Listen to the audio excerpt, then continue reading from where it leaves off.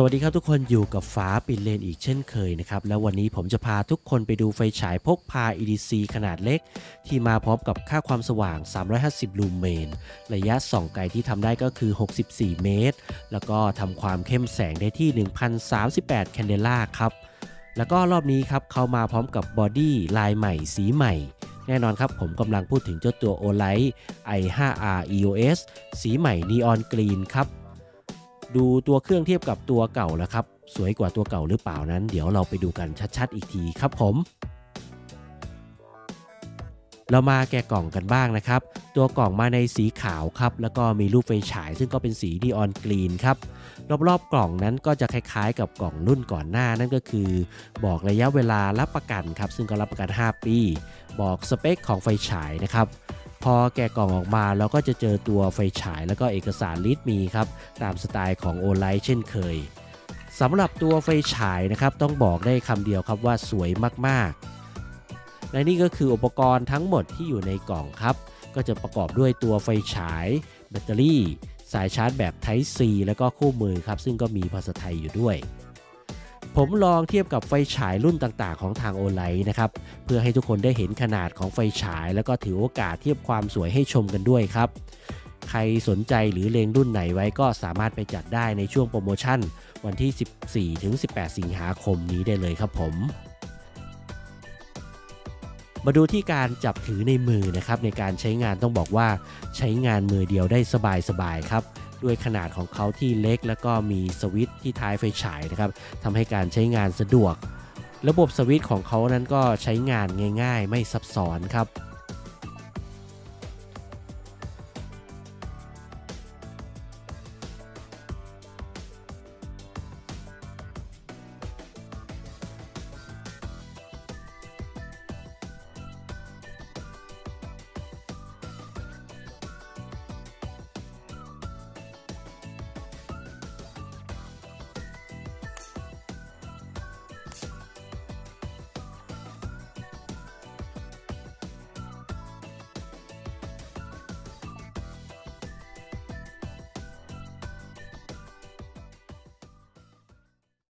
มาดูสเปคของเจ้าตัว i5R EOS Neon Green กันบ้างนะครับ ตัวบอดี้ของเขานั้นก็จะทำมาจากอลูมิเนียมอัลลอยนะครับ ซึ่งตัวเครื่องก็จะมีความคงทน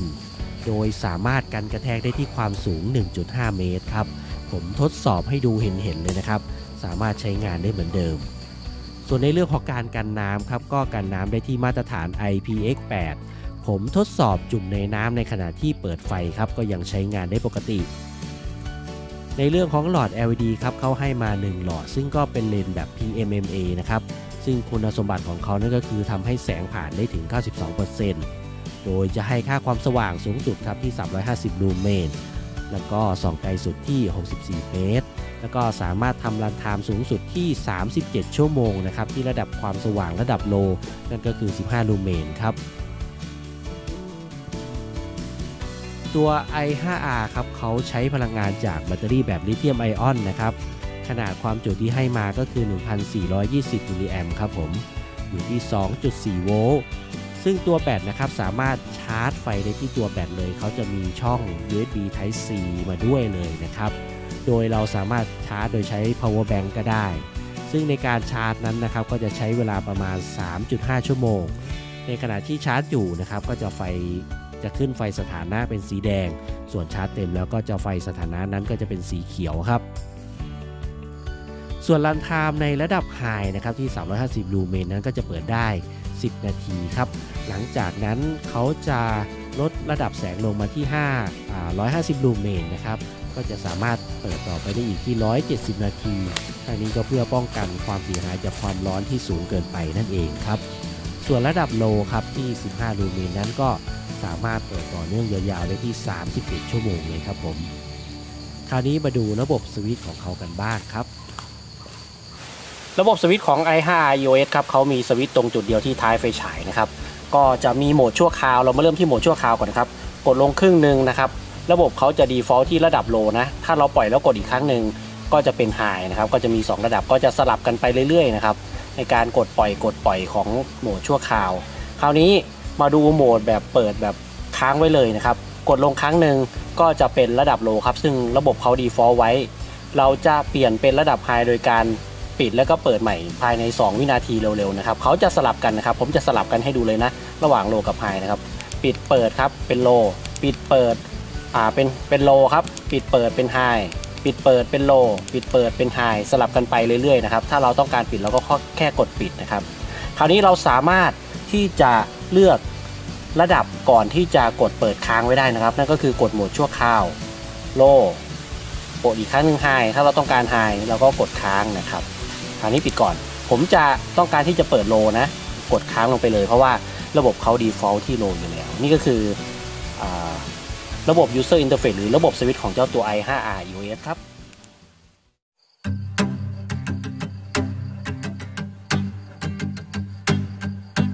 เดี๋ยวคราวนี้ผมจะพาทุกคนไปทดสอบเจ้าตัว i5r EOS นะครับในการทดสอบแสงว่าเขาจะทำได้ดีขนาดไหน โอเคครับ เดี๋ยวเราไปลุยกันเลย เรามาเริ่มต้นที่บริเวณสวนยางพารานะครับ ซึ่งตอนนี้ก็ยังไม่ถึงกับมืดมากนะครับ ก็ยังมีแสงอยู่ ก็ลองเทสๆดูนะ เท่าที่ดูครับแสงของเขานั้นสวยงามมากๆนะครับ ให้แสงที่นวลตาแล้วก็เกลี่ยแสงได้ดี ผมลืมบอกไปอีกอย่างหนึ่งนะครับเขามีคลิป 2 ทางนะครับทำให้เราสามารถประยุกต์ใช้เป็นไฟฉายค่าสีสาได้นะ ก็สะดวกดีครับ คราวนี้เราก็มาดูที่การ ทดสอบลักษณะแสงของเขานะ ผมยิงไฟฉายไปที่โรงเก็บยางนะครับ อันนี้คือแสงโลคราวนี้ก็จะเป็นแสงไฮครับ ลักษณะแสงของเขานั้นก็จะออกแนวแสงกว้างนะครับ ตรงกลางจะเข้มกว่าขอบขอบนิดหนึ่งนะครับ แค่นิดเดียวนะ โดยรวมแล้วเขาเป็นแสงที่กระจายแสงค่อนข้างดีนะครับ จะเห็นว่าสว่างเท่ากันเกือบทั้งภาพนะ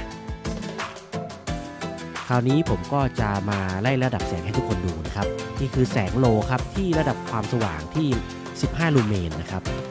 ระยะที่ผมยืนห่างประมาณ 3-5 เมตรนะครับคราวนี้ก็มาที่ไฮครับ 350 ลูเมน แสงต่างกันพอสมควรครับ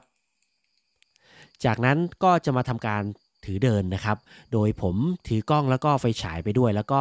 เดินในบริเวณสวนที่ปลูกพวกพืชผักสวนครัวนะครับ ก็ระยะส่องพวกต้นไม้อะไรนี้ก็ระยะห่างประมาณ 3-5 เมตรนะครับ ไม่เกินนี้ แสงที่ได้นั้นก็ค่อนข้างสว่างแล้วก็เกลี่ยแสงกระจายแสงได้ดีนะครับ ไม่รู้สึกแสบตาสำหรับการส่องระยะใกล้ๆนะ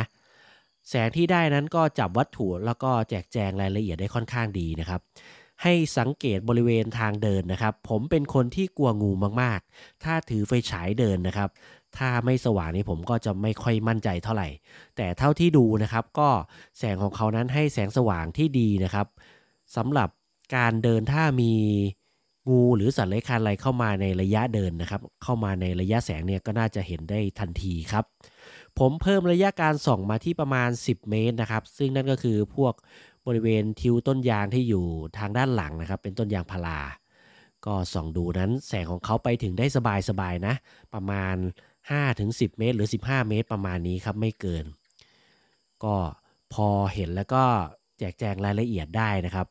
ผมจะส่องให้ดูยาวๆเลยนะครับสำหรับใครที่ต้องการ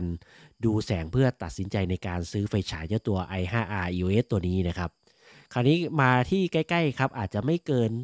ไม่เกิน 1 เมตรนะครับ ก็แสงก็อาจจะโอเวอร์ไปนิดหนึ่งนะแต่ก็ไม่ถึงกับแสบตานะครับ ถ้าส่องใกล้ๆ มาที่ระยะไกลกันต่อนะครับ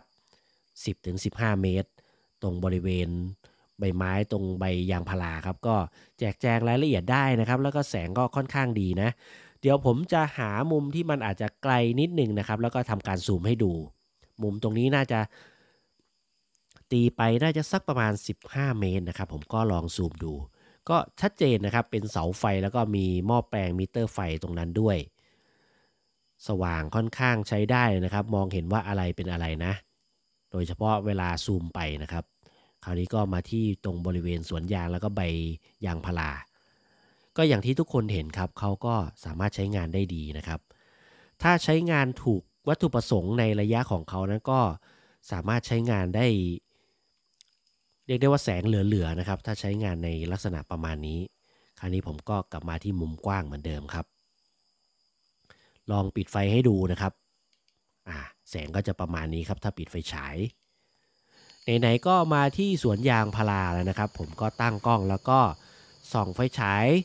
สาดไปในบริเวณสวนยางพารา ซึ่งตรงนี้ก็คือจะมืดสนิทนะครับ แสงพระจันทร์จะลงมาไม่ถึงนะ เพราะว่าใบของยางพารานั้นค่อนข้างที่จะหนาแล้วก็บรรจบกันนะครับ แสงที่ได้ก็ตามที่ทุกคนเห็นนะครับ แสงจริงๆ เขาไปได้ที่ 64 เมตรนะครับ แต่ว่าระยะส่องที่ผมใช้งานจริง ๆ ผมว่า 10 15 เมตร 20 เมตรนี่ก็เหลือๆแล้วครับ โอเคครับสำหรับการทดสอบแสง มาดูโปรโมชั่นเดือนสิงหาคมกันบ้างนะครับ โดยโปรโมชั่นจะเริ่มในวันที่ 14 ถึง 18 สิงหาคมนี้ โดยสมาชิกระดับเงินขึ้นไปครับ ก็จะสามารถเริ่มซื้อได้ในวันที่ 14 สิงหาคม เวลา 2 ทุ่มเป็นต้นไป ส่วนสมาชิกทั่วไปครับ ก็จะเริ่มซื้อได้ในวันที่ 15 สิงหาคมนะครับ ในเวลา 2 ทุ่มเป็นต้นไปเช่นกัน โดยโปรโมชั่นนั้นก็จะสิ้นสุดในวันที่ 18 สิงหาคมครับ เวลา 8 โมงเช้า รอบนี้ครับทาง o l i ไทยแลนด์ก็เตรียมเจ้าตัว i3 EOS สีใหม่ Stella Blue หรือจะเป็น i3 EOS สีดำนะครับมาแจก โดยจะจำกัดที่ 1 คนต่อ 1 ตัวนะครับ จนกว่าของแถมจะหมด โดยเงื่อนไขก็คือลูกค้าที่ลงทะเบียนใหม่แล้วก็เข้าสู่ระบบในช่วงโปรโมชั่นนะครับ ส่วนสมาชิกทุกคนครับที่เข้าสู่ระบบก็จะได้รับคูปองมูลค่า 79 บาทสำหรับใช้เป็นส่วนลดในการซื้อไฟฉายในโปรโมชั่นนี้ครับ สำหรับตัวที่ผมรีวิวในรอบนี้นะครับก็ลดราคาเหมือนกัน เรามาดูกันว่าจะลดราคาขนาดไหนนะครับ มาเริ่มต้นกันที่ตัว i5R EOS Neon Green ครับเขาลดราคาไปที่ 20%จากปกติ 1,150 บาทครับ ในงานก็จะเหลือแค่ 920 บาท แต่ถ้าซื้อควบกับเจ้าตัว s i g e r 4 หรือ s i g e r 4 mini นะครับ ก็จะลดไปที่ 35%จากปกติอยู่ที่ 3,870 บาทครับ ก็จะเหลือ 2,515 บาท 50 สตางค์เท่านั้นเองนะครับ หรือจะซื้อ i5R EOS Neon Green ควบกับเจ้าตัว Baton 3 Pro Max นะครับ อันนี้ก็ลดเยอะเลย 40%จากราคาปกติ 4,210 บาทครับ ก็เหลือในงานแค่ 2,526 บาทเท่านั้นเองครับ คราวนี้มาดูเจ้าตัว j a v e l o t Mini บ้างนะครับ ตัวนี้ก็ผมก็รีวิวเหมือนกันนะสี OD Green ตัว j a v e l o t Mini ครับทุกสีเลยเขาจะลดราคาที่ 30%นะครับ จากปกติอยู่ที่ 3,400 บาท ก็จะเหลืออยู่ที่ 2,380 บาทครับถ้าซื้อควบกับตัว i5R EOS นะครับ ก็จะลดไปที่ 35%เลย จากราคาปกติ 4,550 บาทครับ ก็จะเหลืออยู่ที่ 2,957 บาท 50 สตางค์ครับ ถูกมาก ๆ เลยนะครับ หรือจะซื้อตัว j a v e l o t Mini คู่กับตัว g o b e r Kit นะครับก็จะลดราคาที่ 35%เช่นกัน ราคาปกติ 4,420 บาท ก็จะเหลืออยู่ที่ 2,873 บาทครับ นอกจากนี้แล้วนะครับ ใครที่มียอดซื้อครบในช่วงโปรโมชั่น ถ้าซื้อครบ 1,999 บาท ก็จะได้รับของแถมเป็นตัว a u t o c o C1 Black นะครับ ถ้าใครซื้อถึงยอด 3,999 บาท ก็จะได้รับของแถมเป็นตัวโกเบอร์เลสครับผม ถ้าใครซื้อมากกว่านั้นนะ ซื้อถึง 5,999 บาทครับ ก็จะได้รับของแถมเป็นตัวโอบับ MC เลสครับผม ส่วนสินค้าตัวไหนนะครับที่ไม่ได้ร่วมโปรโมชั่นก็สามารถใช้โค้ดส่วนลด Lens Cover ได้ครับ ซึ่งโค้ดนี้ก็จะได้ส่วนลดไปที่ 12%และนอกช่วงเวลาโปรโมชั่นนะครับก็สามารถใช้โค้ดส่วนลดนี้ได้เหมือนกัน ใครที่สนใจก็สามารถเข้าไปดูตามลิงก์ที่ผมใส่ไว้ใต้คลิปได้ครับผมสุดท้ายนะครับก็ขอบคุณทุกคนที่รับชมนะครับ ฝากกดติดตามช่องฝาปิดเลนด้วยนะครับ เพื่อจะได้ไม่พลาดคลิปรีวิวไฟฉายอุปกรณ์แคมปิ้ง แล้วก็รวมไปถึงคลิปท่องเที่ยวตามแหล่งท่องเที่ยวธรรมชาติครับผม ขอบคุณ Olight Thailand ที่สนับสนุนอุปกรณ์ในการรีวิวครับ แล้วพบกันใหม่ในคลิปหน้าครับผม สวัสดีครับ